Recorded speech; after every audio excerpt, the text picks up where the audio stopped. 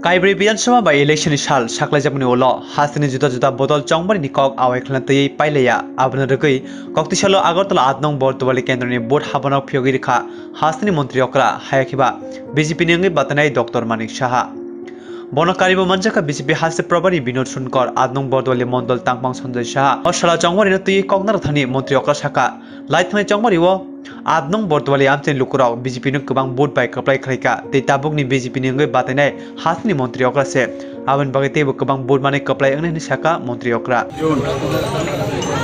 চারটা কেন্দ্রে বিধানসভা কেন্দ্রে উপনির্বাচন হতে যাচ্ছে তো এখানে আট নং বটদোয়ালিতে ভারতীয় জনতা পার্টির তরফ থেকে আমাকে মনোনীত করা হয়েছে তো আমি তো লড়তে যাচ্ছি তো এই উপলক্ষে আমাদের যে নিয়ম, সেই নিয়ম অনুসারে বিভিন্ন জায়গায় যে নির্বাচনী অফিস, সেগুলো আমরা তৈরি করছি এবং সেগুলোকে আজকে এখানে এলাম ওপেন করার জন্য। বিশ নম্বর ওয়ার্ডের একটা নির্বাচনী অফিস, কার্যকর্তাদের মধ্যে আমি দেখছি খুব উচ্ছ্বাস এবং উৎফুল্ল।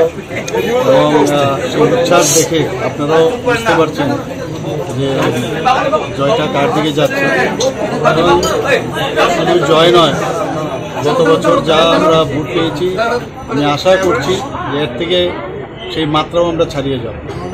তো, আমি এখান আট নং বর্দোয়ালির সমস্ত যারা নাগরিকরা আছেন, তাদের কাছে আমি আবেদন রাখছি যে ভারতীয় জনতা পার্টির যে পদ্মফুলের চিহ্নে, অর্থাৎ আমাকে না, প্রধানমন্ত্রী নরেন্দ্র মোদীজিকে ভোট দেওয়ার জন্য আমি অনুরোধ রাখছি স্যার, আপনি তো মুখ্যমন্ত্রী। চারোটা কেন্দ্রে আপনাকে প্রচারে যেতে হবে। আপনার এলাকায় আপনি কীভাবে প্রচার করার টেকটিসটা নিয়েছেন? দেখুন, ইচ্ছে থাকলে সব সম্ভব। আমি এর আগেও দুই জায়গায় আমি মানে ঘুরে এসেছি। নির্বাচন যখন ঘোষণা হলো, তখন আমি দুই জায়গায় গেছি। সুরমাতেও গেছি যুবরাজনগরেও গেছি। তো ম্যানেজ করতে হয় সময়টা ম্যানেজ করতে হবে এবং নিশ্চয়ই আমি চেষ্টা করব। আর এখানে আমার যারা এখানে আট নম্বর দলের কার্যকর্তারা আছে তারা আমার হয়ে তো প্রচার অলরেডি স্টার্ট করেছে। কাজে এখানে আমার ইম্পর্টেন্ট তো সেইভাবে কিন্তু আমার কার্যকর্তারা যেহেতু কাজ- তো তখন তো সেটা ঘোষণা হয়নি যে আমি দাঁড়াবো। তো আমার হয়ে ওনারা কাজ করবেন এবং এক মানে যতটুকু পারা যায় এক বেস্ট আমি চেষ্টা করব এখানে সময় দেওয়ার।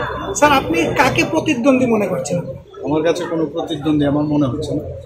আমার মনে হয় আমি আমার নিজের প্রতিদ্বন্দ্বী। না মানে বেশি কাজ করার প্রতিদ্বন্দ্বিতা আমার মধ্যে আরও বেশি করে যাচ্ছে। কার্যকর্তাদের আমি উৎসাহিত করছি। কারণ আমরা সারা বছর কাজ করি, সবাই জানি তিনশো পঁয়ষট্টি দিনে আমরা কাজ করি। এখানে আপনারাও বুঝতে পারছেন যে কে, এখানে বেশি ভোট পেয়ে জিতবে। এখন শুধু সময়ের অপেক্ষা, কবে রেজাল্ট বেরোবে তেইশ তারিখ যে ইলেকশন হতে যাচ্ছে শান্তিপূর্ণভাবে যাতে ইলেকশন হয় আমি সবার কাছে আমার আবেদন থাকবে। এবং উৎসাহের মেজাজে যেটা আমরা সবসময় বলে থাকি উৎসাহের মেজাজে ইলেকশনটা হোক এই আশা শান্তিপূর্ণ বলতে আপনি কি বোঝাতে চাচ্ছেন?